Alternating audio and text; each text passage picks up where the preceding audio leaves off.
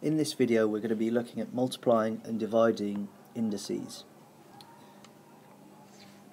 Let's get straight into looking at multiplying and how the rules work. So we've got uh, a to the power of 3 times a to the power of 2. So what that means is a times a times a, that's a to the power of 3. And then we're multiplying that by a times a, which is a squared. So that leaves us with 1, 2, 3, 4, 5 a's, which is a to the power of 5.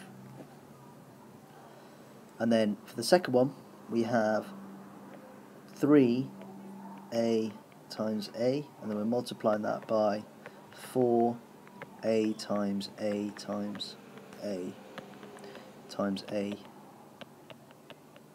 times a which when we multiply the 3 and the 4 together is going to give us 12 and if we multiply all the a's together that's going to give us a to the power of 7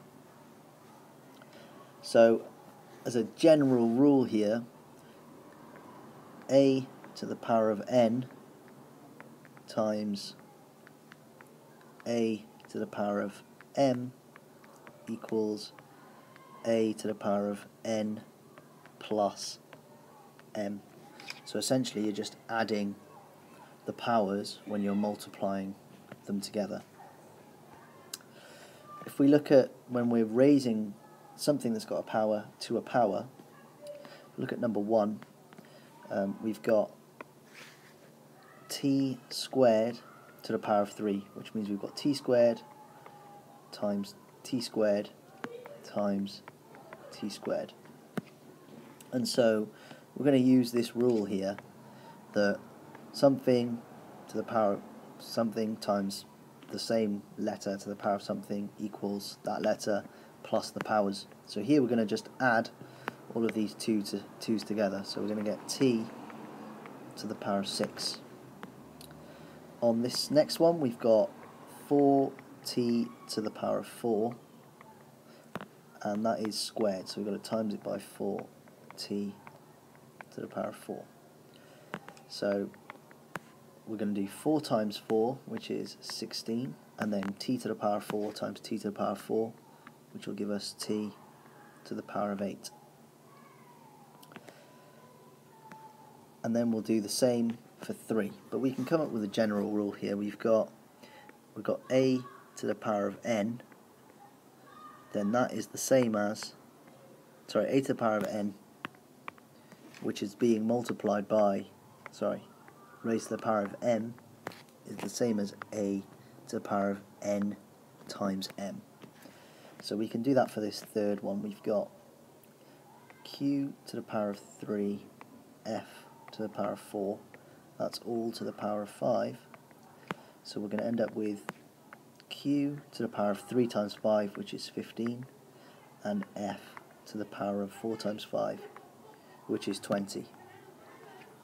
And then finally this last one here, we've got t squared over 3b to the power of 3, which is going to be t squared over 3b times t squared over 3b times t squared over 3b, which means on the numerator we're going to have t to the power of 6, and on the denominator we're going to have 3 cubed, which is 27, and b to the power of 3 uh, on the bottom. And then finally, if we look at dividing, we have b to the power of 7, so that's b times b times b 7 times. And that's being divided by b to the power of 3, so I'm going to write it as a fraction, b to the power of 7 over b to the power of 3. When we divide we can cancel these b's and we're going to be left with 1, 2, 3, 4b. Sorry, 4 b's all multiplying each other so b to the power of 4. Let's do the same for the last one. We've got 12 b to the power of 4, so 12 times b times b times b times b. That's all over 2b. So these two will cancel, divide them both by 2, so this will be 6. And then this b will cancel with one of the b's up there. So we're going to be left with 6b to the power of 3. So our general rule is if we have a number to the power of something divided by a number to the power of something else, we get that number to the power of the first power minus the second.